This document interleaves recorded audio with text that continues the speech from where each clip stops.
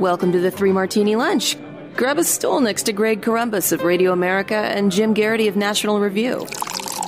Three Martinis coming up. Really glad you're with us for the Thursday edition of the Three Martini Lunch. We actually have all good martinis for you today. We're also brought to you by a brand new sponsor, the HR experts at Bambee.com.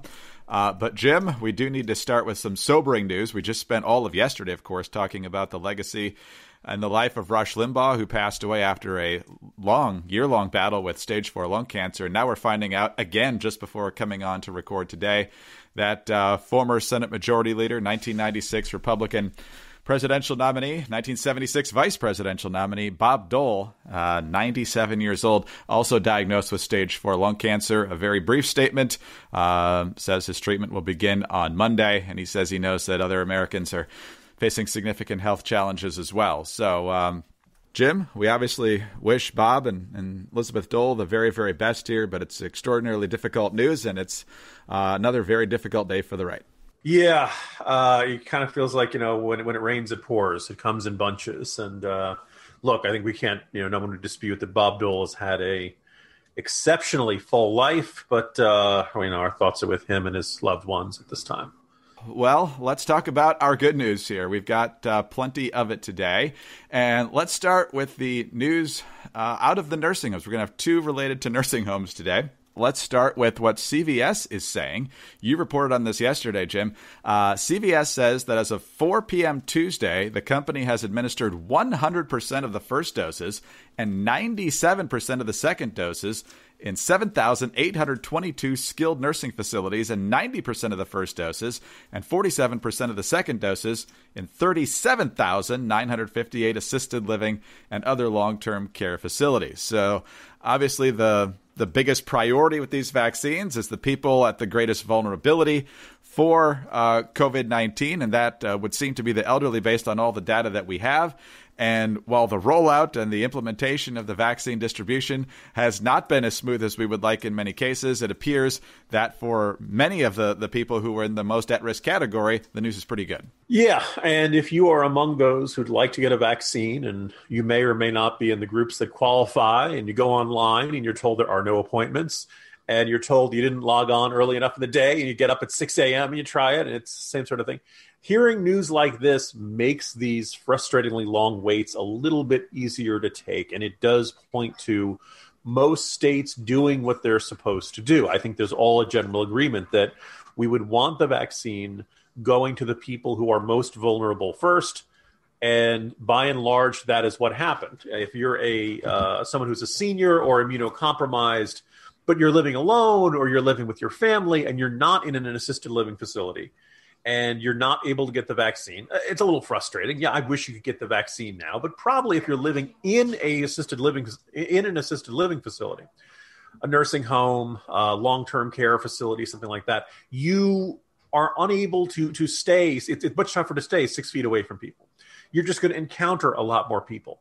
Uh, you're being encountering encountering caregivers, and you know as we've seen uh, as what happened in New York and a variety of other states with the order from Andrew Cuomo. This is foreshadowing our second martini. That this uh, this is where it can spread really really quickly, and there was this eye opening and unnerving figure from the COVID tracking project that said that uh, you know less than one percent of Americans live in these kinds of long term care facilities right now, at least as of like maybe you know February 11th, I guess it was. So you know one week into one week or so into February last week, they made up 36 percent of the U.S. COVID deaths, more than 166,000 deaths. Um, this is where we needed to start. This is where we needed to protect people the most, and by and large, we're not completely done. But it looks like everybody's gotten their first shot, which, as we know, gives them or automatically starts boosting your immune system, starts giving your uh, your your body starts adjusting to to that sort of virus, and they are well along on the second shot, particularly amongst uh, the medical facilities that involve higher levels of medical care.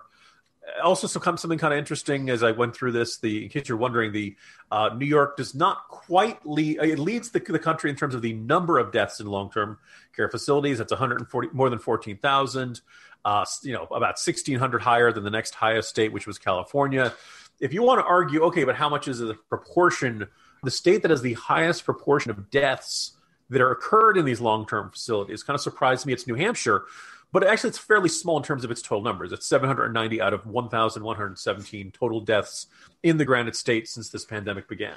Uh, state with the lowest percentage is Alaska. It is a grand total of seven out of 280 total deaths in the state from COVID 19 occurring in those facilities. Look, there's not a lot of good news in this front. I'm very frustrated with the state of the rollout, but this is one thing that has worked out well. And so I have to say to CVS, to Walgreens, and to everybody in Operation Warp Speed who is involved in getting these vaccines there, good job, guys. You are almost done. Let's not let, us not let our uh, foot off the gas pedal. And we'll have a lot more to say about nursing homes in New York, which uh, did not start off well at all, as we have documented thoroughly here in the Three Martini Lunch. But uh, there's also the economic side of the pandemic, and running a business is always challenging. And over the past year, it's added so many different layers of, of challenge. It's just amazing uh, that so many folks have been able to figure out a way to keep the doors open. But on top of all the COVID restrictions and other challenges that business owners face, HR issues can really be a problem as well. Uh, you can face wrongful termination suits, minimum wage requirements, labor regulations, and HR managers' salaries aren't cheap. They can average around $70,000 a year. But Bambee, spelled B A M B E E, was created specifically for small businesses. You can get a dedicated HR manager, craft HR policy, and maintain your compliance all for just $99 per month. With Bambee, you can change HR from your biggest liability to your biggest strength. Your dedicated HR manager is available by phone, email, or real time chat. From onboarding to terminations, they customize your policies to fit your business and help you manage your employees day to day, all for just $99 a month. Month to month, no hidden fees, cancel anytime. You didn't start your business because you wanted to spend time on HR compliance. Let Bambee help and get your free HR audit today. And as we've already discussed on the Three Martini Lunch this week, math can be hard sometimes, but $99 a month, considerably less than $70,000. So go to Bambee.com slash martini right now to schedule your free HR audit. That's Bambee.com slash martini, spelled BAM to the B-E-E dot com slash martini. All right, Jim, I think everybody knows where we're headed in our second martini here. Uh, what could possibly be good news about Andrew Cuomo and nursing homes in New York? Well, the feds are on the case now. You know, the exact thing they were trying to avoid by covering up their nursing home death statistics.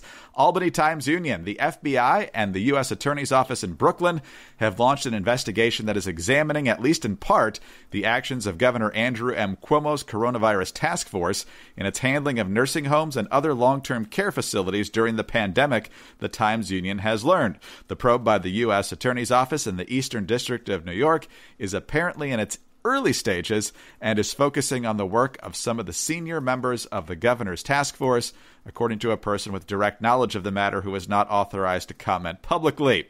And Andrew Cuomo, Jim is also, at least according to Assemblyman Ron Kim, the winner of this week's TJ Ducklo Award for promising to destroy someone uh, because Kim would not go along with. Um, Governor Cuomo's uh, plan to continue uh, to carry the water and uh, cover up what the administration had done there to deflect from the feds and to obviously keep really damaging information coming out during a political season. So, what do you make of the feds getting involved here?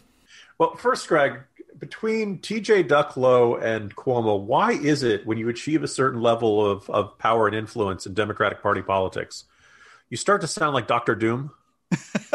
I will destroy you, Reed Richards. You know, um, just you know this, but like the moment you're threatening to destroy somebody, it's a sign you're on a power trip. You don't, you know, you know who I never hear threatening to destroy someone, Greg. Who? The Little Sisters of the Poor. You know. It, there's a great comedy sketch by this British duo where they they play two Nazis who realize that they have skulls on their hats as part of their uniform, and they ask themselves, "Are we the baddies?" and they realize wait if we have skulls on our hats are we really the good guys? Doesn't isn't that the sort of thing villains do? If you're running around threatening to destroy people maybe seal team 6 can do that. Maybe there are a couple of good guys who run but by and large even they don't feel a need to chest you know, thump their chests and talk about you know if you if you really are powerful and a, a force to be reckoned with and you need to tell people you're not really that powerful or a force to be reckoned with um, but more specifically on Cuomo, like I was very pleased when the state attorney general Letitia James did that review of the nursing homes, concluded that the death numbers did not add up, calculated that it had to be at least 50% higher. And lo and behold, the state came out, uh, I think it was either a day, either later that day or a day later, and said, oh, yeah, we actually missed these, you know, several thousand uh, by a significant amount. What I didn't see or hear was any word from Letitia James about whether there'd be any type of legal consequences for the state hiding this information and effectively covering up the extent of just how bad the circumstances were in the nursing homes and long term care facilities of New York State, in large part because of the Cuomo and State Department of Health order saying to these facilities, you have to readmit recovering coronavirus patients even if they are still contagious. Um, I'm glad that there is uh, federal prosecutors now looking into this. The fact that they are on a Skype call saying we're afraid of being investigated by the federal government is a large, glaring red neon sign that maybe something there is worth investigating. We'll have to wait and see. I have a very hard time believing that they're going to be able to look at this and say, no, no, everything was on the up and up, or oh, this was all just a series of innocent mistakes and misunderstandings. Hopefully, Cuomo himself doesn't get. Uh, whitewashed and they don't throw some low levels low level employees in Cincinnati, I believe, is the uh, uh, is the the common refrain in these sorts of circumstances. But um, look, the fact that they're investigating Cuomo is probably overdue and a necessary step for accountability in New York State government. Yeah, watch out for the bus in Albany uh, if you work for Andrew Cuomo, because he's not going to take the rap if he can avoid it. Uh, but uh, between what we're seeing from Letitia James and what we're seeing from the prosecutors in the Eastern District, uh, there may be more repercussions than just losing emergency powers. We will see. Hey guys, it's Mock and Daisy from the Chicks on the Right, and we're excited to tell you about our podcast, the Mock and Daisy Common Sense Cast. If you've been stressed lately with the information overload on social media or just don't feel like anything in the news makes sense anymore, don't worry because we're here to clear things up. Every week we discuss topics like cancel culture, national crisis, what's happening to our new generations, and if you're just plain tired of people trying to tell you what to do or how to live your life, we tackle that too. Find out more by going to our website, chicksontheright.com, or start listening on the Apple Podcast app, Spotify, or your favorite podcast app. Don't forget to leave a comment or review and subscribe. All right, Jim, last piece of good news, and this I have to file under I'll believe it when I see it because we've heard so much from the Biden administration that seems to be deferring to the unions and figuring out reasons not to get back to school. Uh, that Biden's promise to have kids back in school, at least K through eight, five days a week by the end of his first 100 days well, that would be great if we actually saw that, but but we don't know. I mean, he's talking about new HVAC systems, new ventilation for all these schools.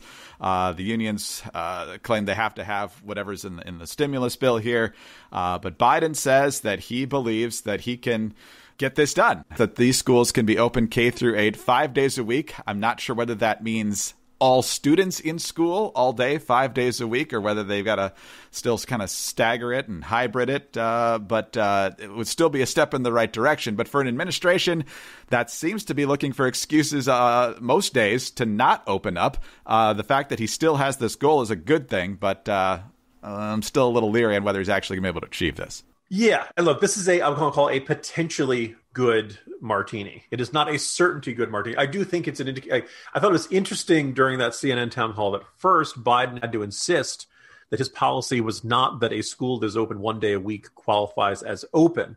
He said that was a failure in communication. Uh, look out for that bus, Jen Psaki. Oh, oh, oh, yeah because that was what Jen Psaki was defining an open school just a couple of days earlier. Okay, fine. Let's assume there's some miscommunication or Biden sees his White House press secretary going out and stating something that is not what he wants, doesn't meet his standards, and is not his policy. By the way, I keep in mind there's more than once where we've had a situation. Actually, we saw this during the Trump years too. What Joe Biden thinks and what the Biden administration is saying, doing, and do, like they can sometimes be only distant cousins, right? They, they they may have met each other, they may have shook hands, but they're not the same thing. And you just kind of wish that the Joe Biden knew what the Biden administration was doing. He'd, he'd be really outraged if he knew it. Um, look, one one of two things will happen. By the way, Biden's 100 days ends, I believe, April 29th. So we're looking at the end of April, early May if all schools and they, after a day they kind of walked it back to K through eight, but I'll take it. Uh, if K through eight schools are across the country are open five days a week at the end of April or early May, I will say, good for you, President Joe Biden. It wasn't really his decision. It was mostly mostly up to state boards of education, local boards of education. But you know what? It is good to have a president and a Democratic president who is willing to say schools should be open by a certain date. That's not quite what he said, but it was close enough, and I will take it. If it doesn't, there's really not much wiggle room on this. There, there's really not a case in which Biden said we should have schools open five days a week unless you know something bad happens or cases go up or in cases the teach in case the teachers unions don't want to you know like there, there really wasn't any wiggle room to that so one way or another we're either going to be saying hey good job biden administration good job joe biden on may 1st or we're going to be saying you failed you went before the american public and you said you'd be able to deliver on this and you didn't lo and behold governing is a lot tougher once you're in the oval office and once you're actually running the executive branch we'll see how it hopes out. I hope he's I hope he's right. I hope that you know I think it's safe to say, but a whole bunch of jurisdictions teachers have been either bumped to the very front of the line or pushed closer to the front of the line on the prioritization scale. I don't want teachers to go into classrooms where they feel unsafe. I do think though that in most of these cases they're being asked masked to teach to students who are masked and they'll be staying six feet or more apart um, we saw, we talked earlier in the week about how the CDC director said that three feet distances should be fine. Um, and they're doing so in many cases, not uh, five days a week. This is not asking people to give CPR to Ebola patients. This is a virus that you have a 90 some percent chance of surviving. Now, if you are particularly old as a teacher, if you're particularly immunocompromised or you live with someone who's immunocompromised, okay, I, I understand. These are g- legitimate concerns. And I think the school board and everybody else kind of let's figure out how we can work around this. Maybe it makes sense for particularly vulnerable teachers to maintain online learning past this point into the future. But as we've seen, lots of private schools have figured out how to make this work, and a bunch of states have figured out how to make this work. Now, there's a whole question of like we've been confronted with a really big problem, and it's like all hands on deck to figure out a solution. And in far too many of these cases, the attitude of, of you know, not even I'm going to say the teachers, because there are plenty of teachers who are like, hey, look, I didn't sign up for this to talk to a screen. I talk to this because I love kids and I love teaching. This is my calling, right? They get into this because they want to do it. There are a whole bunch of teachers who want to get into the classroom as long as they, you know, feel safe and they feel like they're not, you know, exposing themselves to great risk by catching this virus you know, there's no excuses anymore. You could you could blame. There's no blaming schools for being at this state in March 2020. There is blame for schools for being in this state of March 2021. Guys, you've had a year to figure this out. It's time to get the kids back in schools in some form and ratchet it up as more and more teachers get vaccinated. But so, hey, you know what, Greg? We're having a we're having a we're having a snow day, and thus online schooling is canceled here in Authenticity Wood. As it is here. Yeah. Big slip going from screen to screen. But, you know, it's a Biden martini. So, uh, in addition to the fact that he might not be able to make good on it, there's another gut punch here. He also said in this town hall in Milwaukee on uh, Tuesday, we'll try to meet this 100 day goal. He says, You'll have a significant percentage of them being able to open. My guess is they're going to probably be pushing to open all summer to continue like it's a different semester. Parents, careful with the forehead on the desk but uh, just telling you what might be coming down the pike. Uh, I'm sorry, I, I, need to go into concussion protocol now, Greg. Jim, uh, that's one of the less good good martinis in a while, but uh, well, at least we had three today, so hopefully the, the others will compensate. See you tomorrow. See you tomorrow, Greg. Jim Geraghty, National Review. I'm Greg Corombos, Radio America. Thanks for being with us today.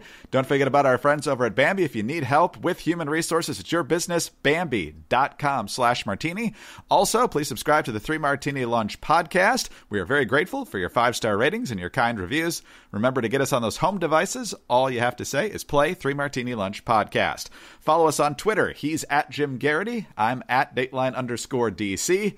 Have a great Thursday. And please join us Friday for the next Three Martini Lunch. Hi, it's Dana Loesch, host of The Dana Show. Every day, I'm here to keep you up to speed on the most important stories and info that you need to know in your very busy life. And if you're always on the go and you want to stay connected, just download our daily podcast and take it with you. It's a great way to get up to speed on what you need to know and what legacy media may not be telling you. Visit danaradio.com and click on the podcast link or subscribe at iTunes, Spotify, or wherever you get your favorite podcasts.